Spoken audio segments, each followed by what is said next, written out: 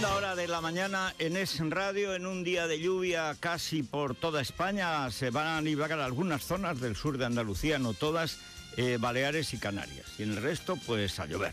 Las temperaturas, en consecuencia, pues siguen más o menos eh, como ayer. 14 grados tenemos en Madrid y nuevamente nos quedaremos entre 21 y 22 de máxima. La máxima ayer era Murcia 29, pues hoy es Murcia 28 y además Málaga, que a lo mejor se libra de la lluvia, no lo sé. Y la mínima, esto es una mínima ya respetable, Guadalajara, 2 grados. Frío Guadalajara, ¿eh? 2 grados en Guadalajara, es un frío respetable, en fin, menos mal que el pelotón del pasmo que se ha dormido en los laureles parece el Real Madrid en la primera parte, en todas las primeras partes, eh, en fin, menos mal que ha venido Guadalajara a rescatarnos de, esta, de este sopor. Bien, Vamos a entrar en materia que hoy hay mucha y muy variada. Vamos con Rosana Alaviada y Vanessa Vallecillo con las noticias del Santander.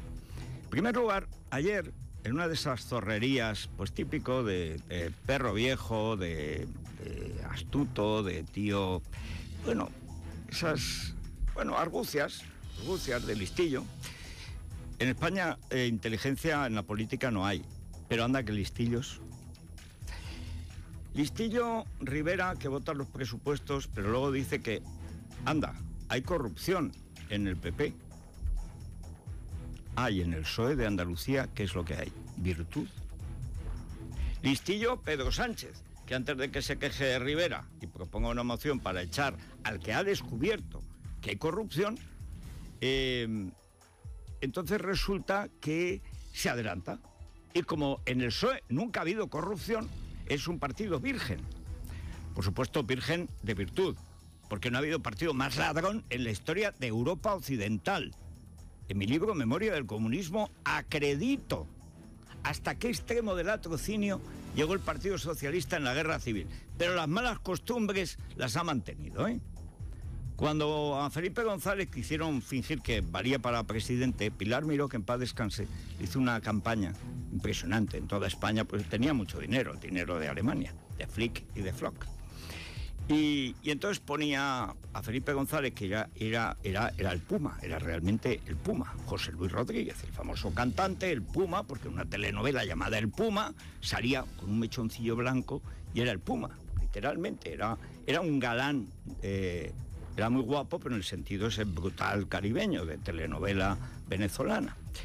Y entonces puso debajo de Felipe, bueno, a Felipe González le pusieron, le tiñeron unas canas blancas, dejaron un poco de patilla, unas canas blancas, para que pareciera más respetable, porque claro, tú veías a ese tío que no sabías si venía de ligar con tu hija o de robarte la tienda y no era muy fiable. No era muy fiable. Atractivo así sexualmente sí, fiable para presidente no. Y entonces pusieron el eslogan, 100 años de honradez, porque cumplía 100 años el Partido Socialista. Dicen que no hay mal que 100 años dure, eso sí. Inmediatamente los del partido, el partido, el único que había habido, frente a Franco pusieron, y 40 de vacaciones. Lo que no sabían es que las vacaciones eran en Isla Margarita, con su amigo Carlos Andrés Pérez, igual que ahora irán los de Podemos, porque eh, tanto los dictadores como los ladrones siempre tienen eh, algunos sitios especiales. Unos tienen Córcega, los ladrones italianos normalmente quedan con sus socios en Córcega. Eh, en esa época Venezuela era una democracia, era, no era una dictadura comunista como ahora, pero, tenía, pero siempre tienen sus lugares de descanso. Y en, y en Cuba, pues Varadero, más los infinitos chales de la banda de los hermanos Castro. Bien. Pero que el Partido Socialista diga que el problema en España es la corrupción del Partido Popular, cuando tienen en el banquillo a dos presidentes de la Junta de Andalucía, una junta en la que Susana Díaz era la mano derecha de Griñán, uno de los dos presidentes que está por haber robado, por haber estafado 800 millones de euros, la verdad es que es, es que, como diría Bono, uno de esos exponentes de la virtud, tiene tanta virtud José Bono, que, que ha conseguido con un magro sueldo un montón de fincas, de casas en los mejores sitios de Madrid. Alguna, alguna es realmente envidiable, está enfrente del Palacio eh, eh, arzobispal de, Casa Osoro, que en otro piso vive Rouco, Casa Rouco, Casa Osoro, pues enfrente está la Casa Bono, que es mejor que, incluso mejor que un obispo, se dice, mejor que un arzobispo, vive Bono, y además caballos, tiene caballos, un caballo de carreras vale un millón de euros. ¿De dónde jaca? para tanto como destaca? Pues sin duda del Partido Socialista, porque es un partido virtuoso y nunca ha habido corrupción. Nunca. O sea, Filesa, Malesa, Temesport, Roldán, El BOE, la Cruz Roja, eh, Palomino, Ibercorp, eh, ¿eso qué son? Vamos, maledicencias de la infame derecha siempre franquista, como diría Hanley Zebgen. Pero han descubierto que en ese casino se juega. Es decir, que resulta que hay corrupción en el PP. Es verdad que son discípulos aventajados, pero discípulos todavía del gran maestro Monipodio, maestro de ladrones en Sevilla. Recuérdese, no es que se me olvidó, es que lo dejaba para Monipodio, que mi hermano, el hermano del vicepresidente del gobierno y vicesecretario general del partido, tenía oficina abierta de tráfico de influencias en un edificio de la delegación del gobierno de Andalucía al lado de la Junta. Llegabas, Juan Guerra, se llama, eh, no sé si vive, supongo que vivirán. Los Guerra son tantos que les pierdo la cuenta, pero imagino que viven todos. Vivirán bien, supongo. Alfonso, Alfonso es el jefe, el más listo, el que leyó todas las solapas de los libros que los otros no cataron. Él era librero que leyera muchos libros, pero las solapas las conocía y claro, esto le da una ventaja sobre Felipe y otros, como excepto Boyer, que ese sí había leído los libros y por eso acabaron muy mal.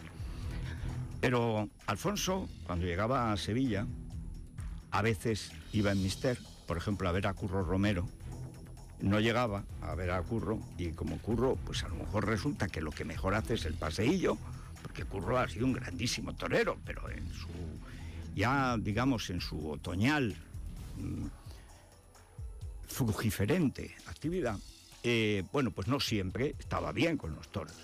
Y entonces decían los aficionados sevillanos, que son muy suyos, es igual. Yo después de ver hacer el paseillo a mi faraón, yo ya me puedo ir a casa, yo ya he visto bastante.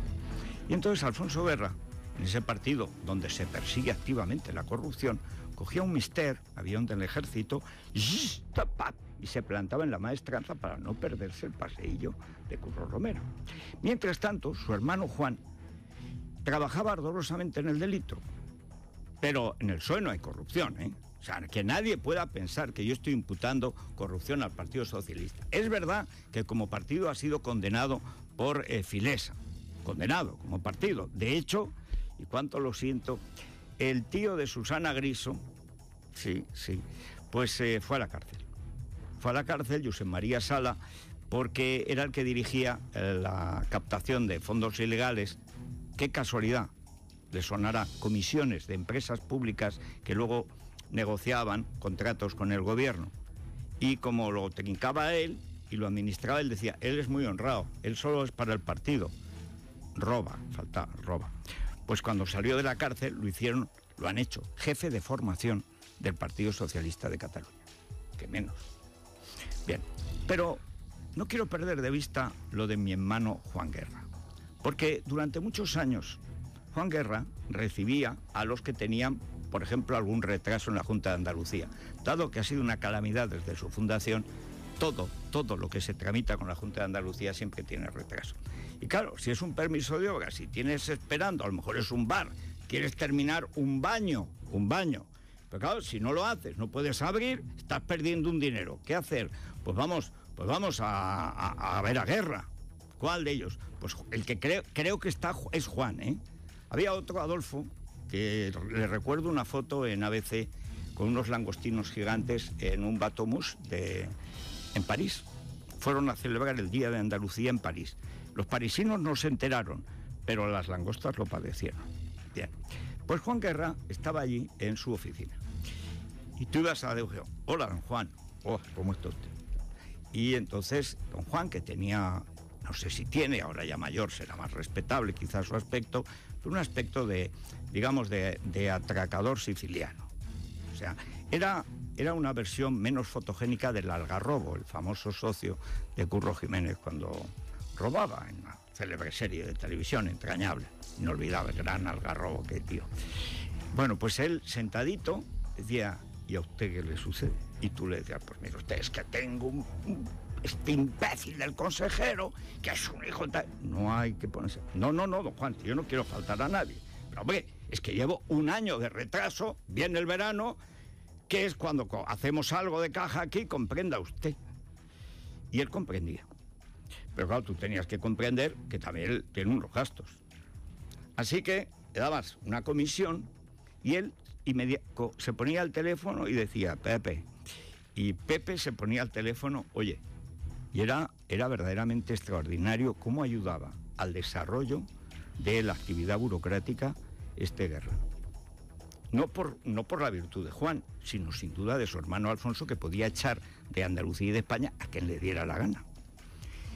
Tú habías pagado, te tomabas un cafelito con Juan Guerra, no era gran cosa el cafelito, Ahora debía tener algo, porque ahí lo consignaba siempre, era un hombre ordenado, la verdad, hasta que se divorció eh, y la mujer lo delató. Eh, la verdad es que llevaba mm, un libro de sus negocios. Vean ustedes, eso no es un negocio. Hombre, decente no lo es. Pero vamos, que ganaba dinero con él, qué duda cabe. Hasta 27 cafelitos se llegó a tomar un día.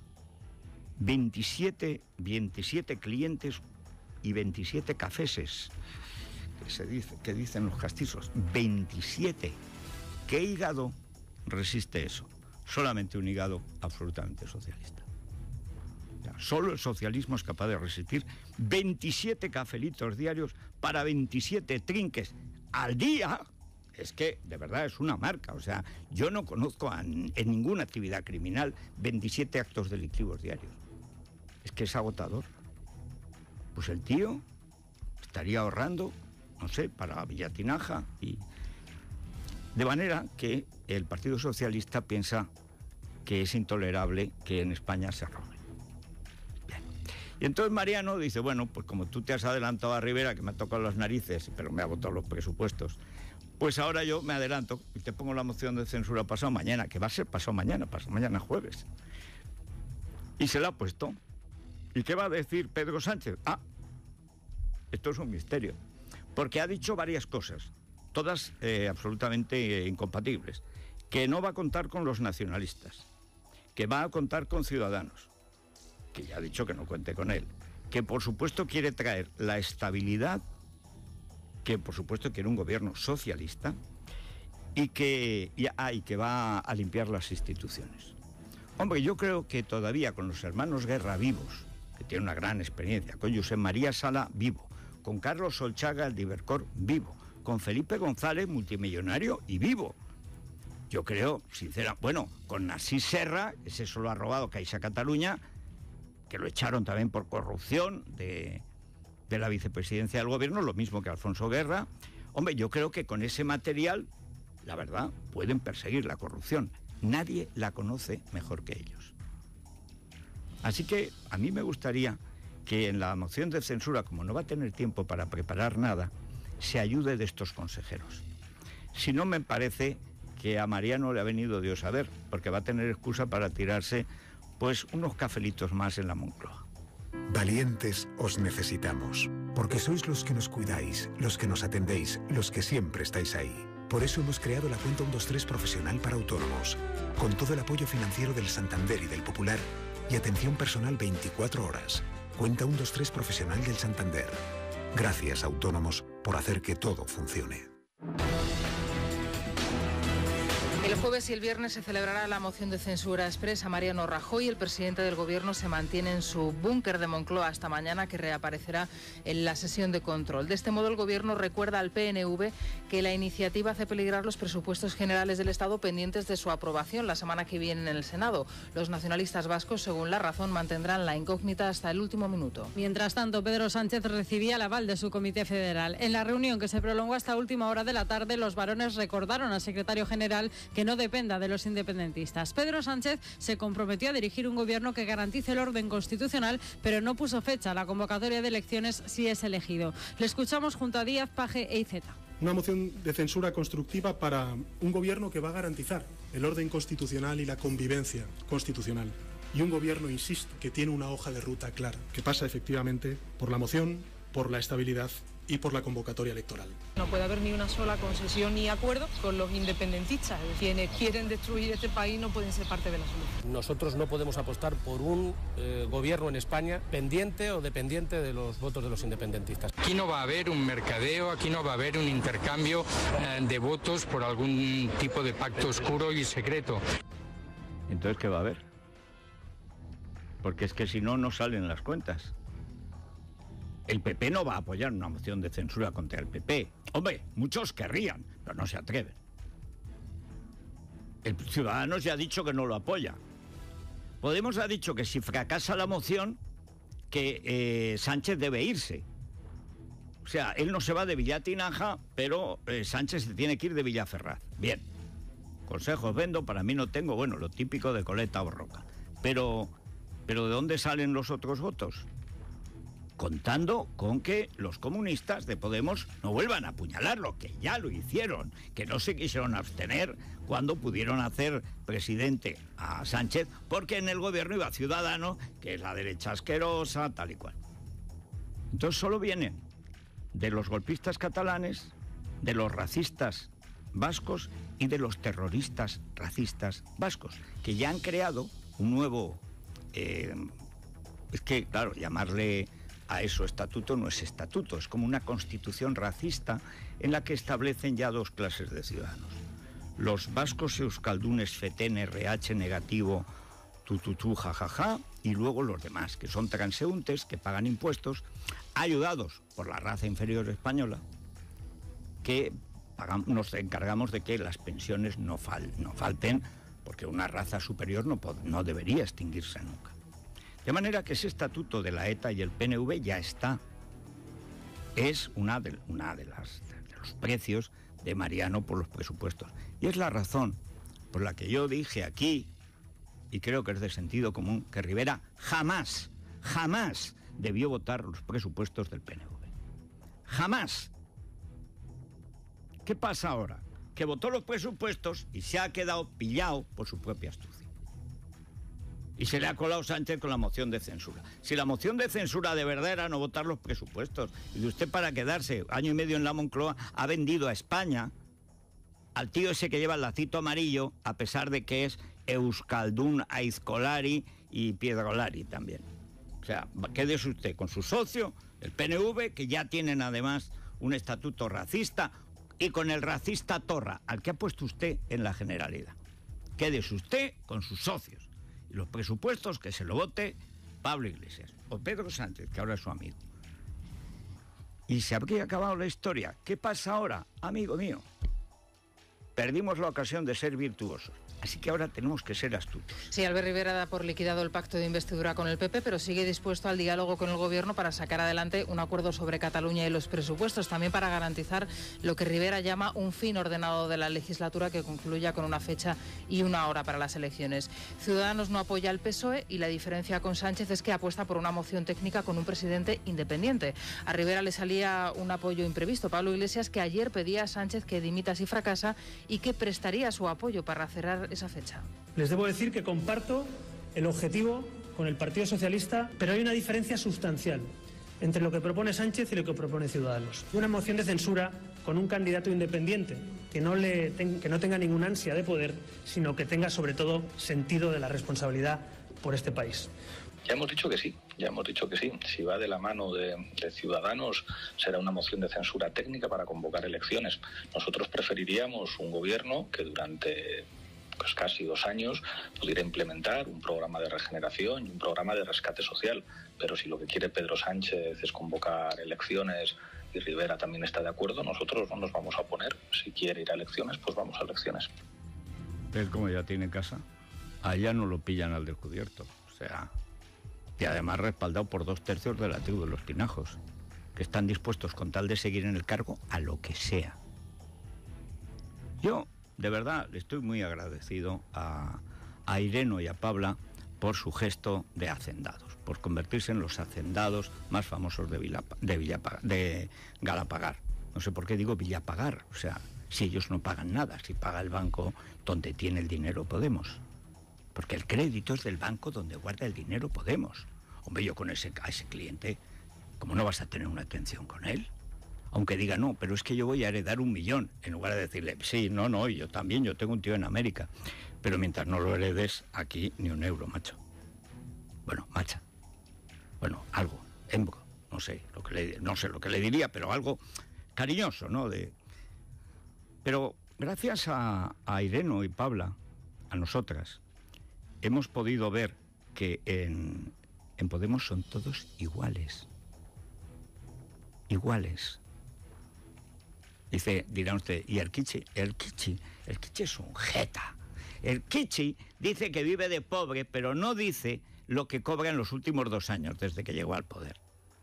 Si se fijan ustedes las informaciones, pésimas informaciones, de ese grotesco periodismo de, de declaraciones y de Wikipedia, que es lo que se hace, él no dice lo que recibe, él dice el sueldo que tiene, pero no lo que cobra. Ay, es que tengo una pensión, ay, es que tengo dos niños, claro. Dejó a la señora por Teresa Rodríguez, y claro, estas cosas hay que pagarlas. Pero, pero ¿y al día? ¿Cuánto paga el ayuntamiento? ¿Qué sinecuras, qué prebendas, qué chollos no tiene el alcalde de Cádiz? ¿Así? Y eso no ingresa, no, eso no computa como sueldo, pero vaya si te ahorra gasto. Menudas arquiche. Bueno, pero a todo esto, eh, ¿el favorecido quién es? Pues igual que Pedro Sánchez, lo decía a las seis, quiere llegar a toda costa a la Moncloa, Mariano quiere quedarse a toda costa en la Moncloa, a costa del PP, de España y de lo que sea. Y le ha venido Dios a ver con esta cosa. Por cierto, solo una como Rivera lo tiene todo, Pedro J dice que tiene un gran grupo de gente pensando. Bueno, la moción de censura la presenta el candidato a presidente. Esto de una moción de censura, que para presentar a otro, esto es nuevo, ¿eh? Esto es nuevo. Salvo que sea una autoridad militar, por supuesto, esto es nuevo en historia del Lo digo para el equipo de estudios de Rivera, que a lo mejor es anglosajón y por eso quizás no comprende nuestra legislación. En el gobierno, Rajoy se resiste a dar un paso atrás. De, puertas para afuera, los miembros del Ejecutivo hablan de apoyo unánime al presidente, pero hacia adentro muchos dan por agotada la legislatura. El presidente del gobierno estaría valorando convocar a la Junta Directiva Nacional tras la moción. Ayer Núñez Feijó le daba su apoyo desmintiendo así el rumor que le colocaba frente a Rajoy. No seré Judas, sentenciaba el presidente gallego. Esto está muy bien. Vamos a entrevistar a Feijó, Alberto, no Judas, Alberto, el viernes, si Dios quiere, en La Coruña. Una pausa. Valientes os necesitamos. Con Federico Jiménez Los Santos.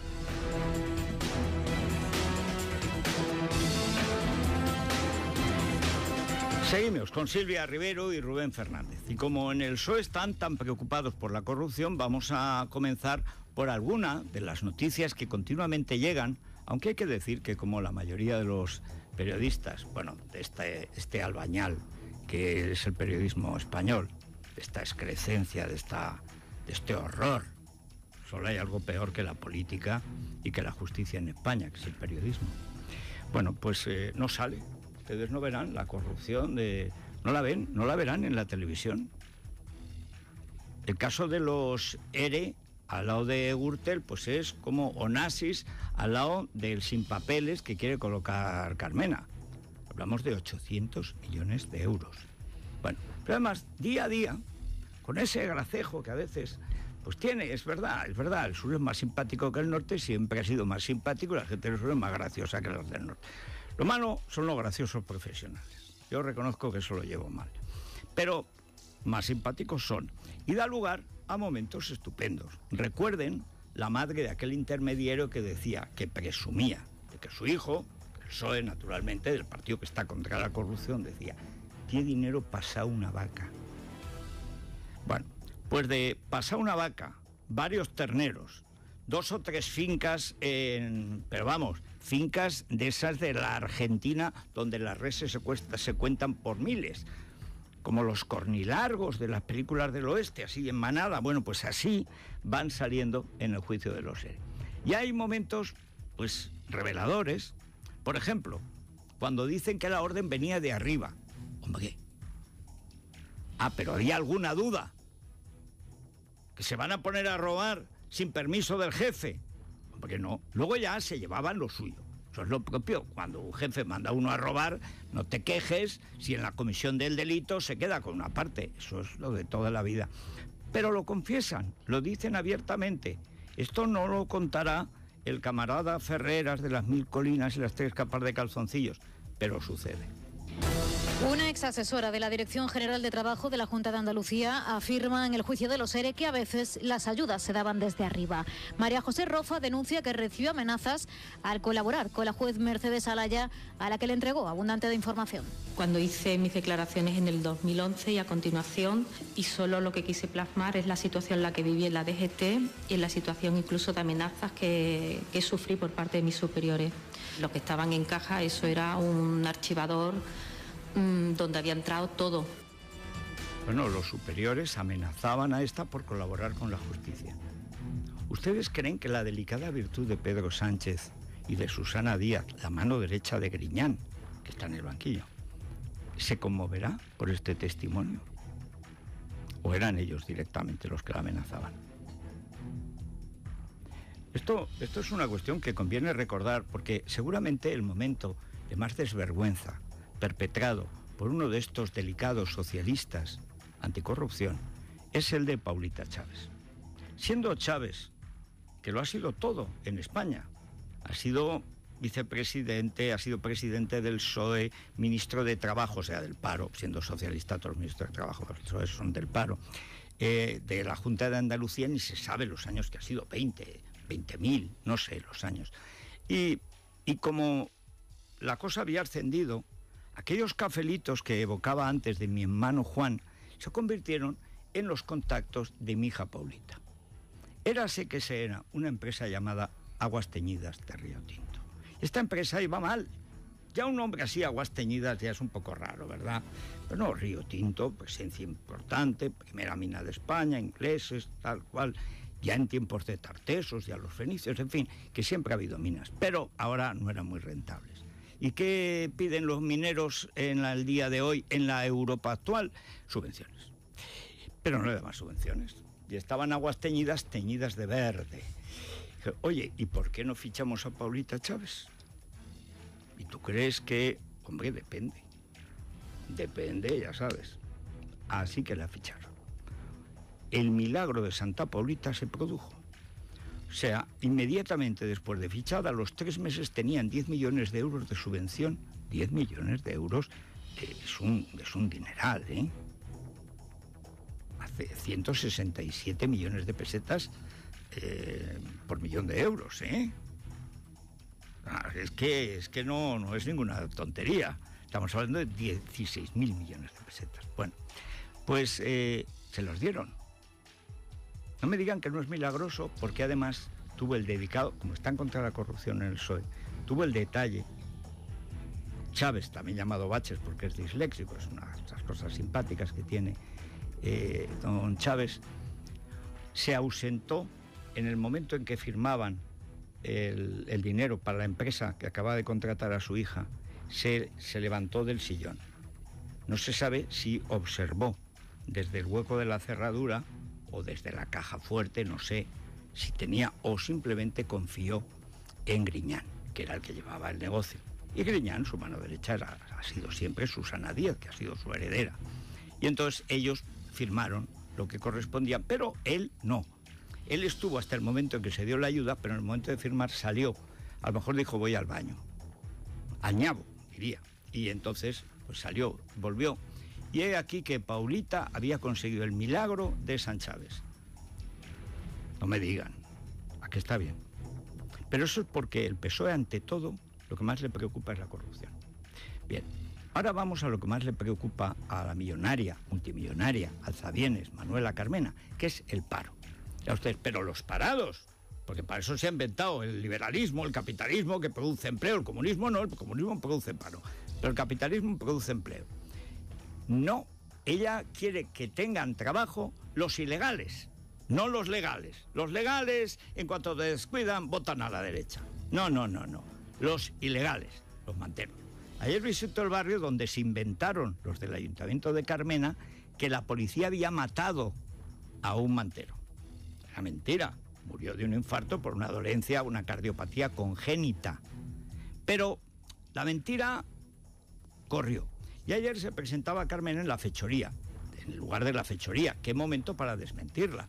Para decir, no es cierto que aquí la policía matara a un mantero, todo lo contrario. La policía le ayudó a ver si tenía remedio para tal, pero no pudo, porque era congénito. No, no, no fue con una ocurrencia absolutamente extraordinaria. Manuela Carmen ha propuesto que los inmigrantes sin papeles puedan trabajar de forma temporal en sectores como la construcción. Desde el Ministerio de Empleo le recuerdan los 3 millones y medio de parados españoles. La alcaldesa hacía su propuesta durante una visita a Lavapiés dos meses después de los disturbios. Además, ha propuesto sustituir las multas a los manteros por trabajos comunitarios. Escuchamos a Manuela Carmena y a la ministra Fátima Báñez. Los promotores de las obras nos dicen que eh, tienen dificultad. No hay, no hay obreros de la construcción en Madrid suficientes. Eso es un problema enorme, ¿no? Y por eso yo creo que resulta incomprensible que haya gente que no la dejamos trabajar, pudiendo trabajar. No podemos permitirnos que se quede ninguna vacante en ninguna empresa constructora de Madrid en este momento cuando tenemos tanta gente registrada en los registros públicos de empleo de Madrid y del resto de España. Ahora entiendo por qué se va también Fátima Báñez con Villegas cuando conversaron para apoyar al gobierno. Se explican igual de mal. Mira que lo explica mal la ministra. Mira que es, es fácil hacer, no demagogia, sino justicia. Es decir, usted quiere que el trabajo que piden los legales, que pagan impuestos, que pagan el IBI, que pagan impuestos de sucesiones donde no tienen más remedio, que se lo queden los sin papeles. O sea, usted ataca a los trabajadores legales para favorecer a los ilegales. Bueno, lo ha dicho de tal manera que no se entiende nada. Pero atención, porque eh, ayer corría un meme por las redes sociales en que aparecía, después de la ponencia, Mariano Rajoy y todo su grupo, Mayoteles, Soraya, Cospe, tal, Maroto, el de la moto y tal, en supervivientes. Y entonces, en el cuerpo un tanto decaído, pero corpachón todavía, de, de Francisco, pues aparecía Mariano Rajoy, por supuesto con un color cobrizo mm, brutal, y unas barbas, es que era talmente Mariano en Supervivientes. Bueno, pues la idea de empezar a coger en, las, en los programas de televisión gente que sobrevive a esa circunstancia y pasa a otro programa y otro programa, ha calado. Ha calado y ayer conocimos una noticia estupenda. Es que aquí realmente todo el año es Navidad, el circo nunca cierra. O sea, el, el plan, el grupo para dirigir las elecciones del PP en la Comunidad de Madrid, perdón, en Madrid, Madrid, Madrid, eh, es extraordinario y cuenta con sorpresas. Casado no es sorpresa, pero hay otra que sí. El Partido Popular madrileño nombra a Pablo Casado presidente del Comité Electoral y estará acompañado de Alfonso Serrano y Ana Camins como vicesecretario de Organización y de Acción Sectorial, respectivamente. Isabel Díaz Ayuso será la nueva portavoz e Isabel Rábago la secretaria de Comunicación. Rábago es conocida por ser comentarista del corazón y es concursante de supervivientes. Se va a encargar de preparar a los populares para las tertulias. Para sobrevivir a las tertulias me parece, me parece bien. Hombre, es que Lara Álvarez está trabajando ahora, entonces ahí ha debido estar la cosa. No sé cuál era la primera opción. Me gusta, me gusta. Pero bien, bien, bien, se van acercando al pueblo. Falta Isabel Pantoja Martín, vulgo Chabelita. Esa sí que sobrevive a todo y a todos. En fin, pero a veces no nos escuchan. Va a ser que no, puede... Eh, la, zona nuclear. yo creo que Chabelita, que cuando, por ejemplo, sus maridos se pegan y tal, hace que, que no, no, siente ni padece. Yo creo que es la zona coclear. Bueno, pero tiene solución. Que no, que no se preocupe, Chabelita, que tome nota, que llame al 902 026 024. 902, a ver, 026 024. Que tome nota. Es que, como no no, nada. a ver si lee los labios. Sí, sí, no, eso seguro. Eso seguro. seguro, bueno, pues que llame al 902 026 024. Le van a hacer una revisión gratuita. bueno, cuidado con las revisiones al Chabelita, que luego van a sálvame. Vamos con la prensa económica y con la casa. Es la mañana. Es radio.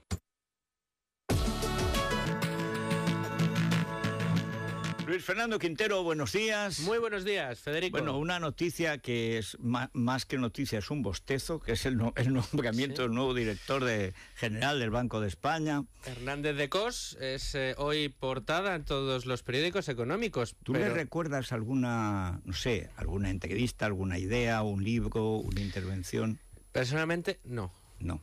Eh, del tampoco. Banco de España normalmente se conocen las declaraciones del gobernador El gobernador. o digo, las sí. filtraciones de los técnicos. Eso es. Pero del director general no, No. no. sabíamos nada. No, de este, de este nada. El último que habló fue Caruana, que dijo, dijo, ojo que las familias se están endeudando una barbaridad y el crédito está muy barato. Y dije yo de mi compañero de pupitre, este Jaime siempre tan morigerado, siempre tan discreto, porque era así desde niño. Y tenía razón, tenía toda la razón. Bueno, pero Bueno, en fin, que un no, tecnócrata nada, con experiencia en que no- Europa es lo que destacan no todos se los note, periódicos. que no se mueva y que no traspase. Y Es que no- decir, y que no moleste. Que no declare, eso es. eso es, no, no moleste ni a la derecha ni a la izquierda. y a- ¿Me puedes contar qué es lo que está pasando en Italia? Bueno, pues eh, en A. Italia eh, tenemos una crónica fantástica de Manuel Llamas con ¿Y ahora qué? Italia corre el riesgo de plantear unas elecciones super- sobre su permanencia en el euro. Y en Italia, claro, eh, se acabó la operación Conte de, de la Liga y del Movimiento Cinco Estrellas. Se la ha Están- cargado el presidente de la República. Sí. Hay que decir que es verdad que allí tiene atribuciones para hacerlo, pero es, es un poco irregular. Sí. Porque ha habido elecciones. Sí, bueno, una de las cosas que nos cuenta Manuel Llamas es que el- los mercados sí que han acogido con cierto alivio el que se desechara la idea de que hubiera un gobierno encima de la mesa en Italia eurófobo, eh, tendente a disparar todavía más la deuda pública, el impago de deuda, etcétera. Ahora eh, se coge con pinzas el nombramiento de Cotarelli, eh, Pero bueno, es otra del Fondo irregularidad. Monetario. Esto Sí, es sí, como sí. cuando ya colocaron a otro para que no estuviera Berlusconi o los comunistas o el payaso Grillo. O sea, vamos a ver. Aquí o hay elecciones en un país y se respetan o no las hay. Exacto. Luego que tengan una justicia independiente, independiente, justicia, y, y a partir de ahí, oye, que se atengan a las leyes. Y si se saltan la ley, pues a por ellos. Pero hombre, lo que no puede ser es que el presidente de la República se cargue la alianza salida de las urnas. Vamos, no de las urnas, porque total es la extrema derecha y la extrema izquierda. Es un apaño contra natura. Pero bueno, en fin, que... No, no, en Italia la cosa está, sigue habiendo está mucha incertidumbre, los mercados lo, a- así lo demuestran. ¿Tú y, te acuerdas que yo te dije, Berlusconi ah, da el aval para la Unión, para que se estrellen y volverá él como salvador? De hecho, es una de las cosas que estamos viendo, que es que ya eh, las casas de apuestas, como se suele decir, no descartan la opción de verlo. Yo, en el momento en que vi, este ha quedado tercero, cuarto, es igual. Pero depende de él que haya acuerdo. Va a decir que hay acuerdo que no puede funcionar entre la extrema derecha racista del norte y la extrema izquierda payasesca del sur. Y cuando se peguen la torta, no tendrá más remedio que hacerse cargo de nuevo de Italia. Exacto. Se sacrificará por la nación. Eh, es, la, es ve operación venir, que se ve Es venir. que se ve venir, se ve venir. Es la operación que se ve venir. Madre mía. Bueno, tú estarás interesado, como yo, en saber qué va a pasar con Bale. Vamos, no qué, sino cuánto. ¿Cuánto? ¿Cuánto? ¿Cuánto va a pasar? A ver, que nos lo diga Vicente Aspitarte. ¿Tienes un minuto? ¿Para qué? Para contarte que puedes cumplir tus ilusiones now. ¿Cómo conseguir un préstamo con un clic? Sí, now. ¿Y estrenártele ya? A la de Now. Ahora y hasta el 31 de agosto toda la innovación de CaixaBank para cumplir tus ilusiones aquí, allí y ahora. Más información en caixabank.es. CaixaBank. Es la mañana de Federico, con Federico Jiménez Los Santos. Bueno, lo primero, eh, Vicente Espitarte, muy buenos días. Buenos días, Federico. Gracias a tu señora, porque esos piononos de isla Sí, sí, con sí. que me obsequiaste para recordar que es granadino y no sevillano. Correcto. Y no sevillano. Las cosas hay que demostrarlas. El culto al pionono, por don San Pío San Pío IX, eh, es granadino. Y esa pastelería Isla ha hecho una obra maestra. impresionante, es verdad. El problema es frenar a la hora de devorar esa Sí, sí, obra hay que- maestra. hay que contenerse, ¿eh? Contenerse. Hay que Pero tampoco son muy pesados, ¿eh? Eso es lo grave. Eso es lo bueno. sí, Eso sí, es sí, como las yemas de Ávila, que dice, oye, qué bien están, no son demasiado dulces. Y llevas ya siete, ¿verdad? Y no, llevas la caja, claro. Bueno, pues en el Real Madrid esperan que no se contengan en las ofertas que lleguen desde Inglaterra por Gareth Bale. El verano pasado no llegó ninguna oferta, a pesar Esa de es todo la lo que verdad. se contó. Mucho jijiji, poco Y jajaja. sobre todo mucho chau chau de José Mourinho en Estados Unidos con Gareth Bale, pero, Pero realmente nada. el United no llegó a hacer ninguna. Ayer ya se hablaba en Inglaterra, atención, fíjate el baile de cifras porque es muy amplio, pero sobre todo nos sitúa en el mercado la posición real de Gareth Bale de este año con respecto a la del año pasado y con respecto a los momentos de La del lesión. año pasado era muy mala, porque además muchas lesiones. Claro. Sin tal. embargo, eh, la forma de gestionar los minutos sobre el terreno de juego de Gareth Bale por parte de Zinedine Zidane han revalorizado muchísimo Hombre, a el jugador que no se ha el vuelto a gol- lesionar. y el gol, y el gol. por los últimos goles, porque se ha hinchado Claro, a marcar goles. Se le sí. han caído los goles de los bolsillos Sí. en los dos últimos meses. Bueno, pues las ofertas, según dos periódicos británicos, van desde los 140 millones de euros de, de Independent hasta los 230 millones del Sun. Es verdad que Pues es el mira, menos fiable des- de todos, pero- desprecio mucho al Sun, que Sí, es un pero lo periódico amarillo. ahora mismo. Pero no, no, pero creo que estará más cerca. Desde luego estamos hablando... 160, 180. Es que como ellos juegan en millones de libras, Claro. pero no creo que esté en 100 millones de libras. Yo te he hecho la más. traducción a euros, eh, desde luego. eh, La conversión a Yo euros... recuerdo porque estuve en Inglaterra, el- en Manchester, justo el año en que lo vendieron. Sí. El nivel de popularidad de Bale, yo recuerdo que me despertaba del hotel y había un edificio, pero un edificio como el de la entrada de la Gran Vía, ese tan bonito Capitol, tal, de Metrópolis. Bueno, entero, todo el edificio era una cara de Bale. Bueno, esa misma, ese Todo. mismo periodo estival, eh, en Nueva York también la cara de Bale en Times Square eh, estaba sí. copando las No, principales... no, y ahora, bueno, es que ese gol estará... los principales, principales edificios. Desde luego, el gol le vuelve a catapultar y eh, la Premier son conscientes de que necesitan una nueva estrella, Sí, un porque no tiene... Mesías. La verdad es que están todos en España. ¿eh? Claro, y entonces la mejor opción pasa por Gareth Bale. Por cierto, por cierto, Federico, más allá de que Carvajal no se va a perder el Mundial, Me alegro. más allá de que quedan 47 días para que Piqué deje de vestir la camiseta de Seguro, España, hombre, lo seguro. prometió, tendrá que cumplir. Será ¿no? de mancillar la camiseta de España. bueno,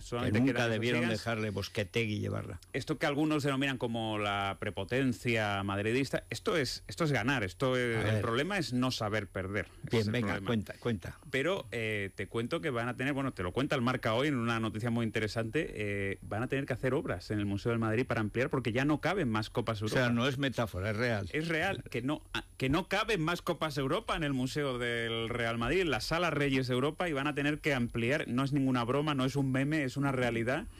Eh, no sabemos si la próxima Copa del Rey no se podrá jugar porque hay obras en el Bueno, museo. y si pero- los hermanos atléticos no nos ganan en agosto, otra más. Sí, pero en concreto, en la Sala Reyes Europa, que es donde están las Champions, ya no cabe ni una Champions más.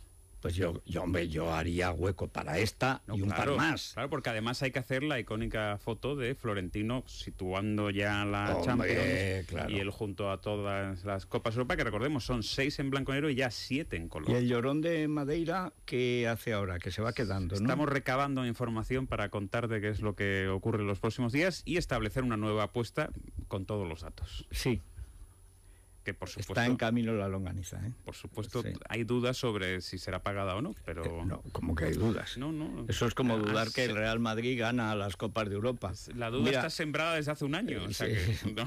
Hombre, yo no voy a salir ahora que, que va a venir Rogelio Alonso a hablar de terrorismo, no voy a salir ahora a buscar longanizas de Monreal. No, no, no. Pero, no, no pero lo permitiríamos me- nadie. Es que yo no, yo querría, pero ya que te has puesto así, me voy a meter en internet y, y lo primero que pille lo vas a tener. Po- podemos o sea, no, ahora no serán, no serán como los piononos. Conociéndote puede ser algún DVD de Amazon de alguna serie. No, no, no, porque- no, no, no, no, eso por supuesto, eso te lo daré, te voy a dar una serie completa de Megret. Eh, y de películas de 50 eh, francesas, que tengo así. Pero, pero vamos, además, Pero, ahora, la primera longaniza de Monreal, tú lo has querido, la primera que pille. Pero pidamos al, al alcalde. No, no, no, no, no, no, vamos a ver, yo no juego al tráfico de influencias. No, no, no, no, no, no, no. Bueno, vamos a ver en Madrid, porque esto de colocar a los delincuentes, a los sin papeles, que son delincuentes, gente que vive de manera delictiva en España, eh, como candidatos especiales para trabajar en Madrid, esto solo se le ocurre a la comunista millonaria Manuela Carmena. Es, es.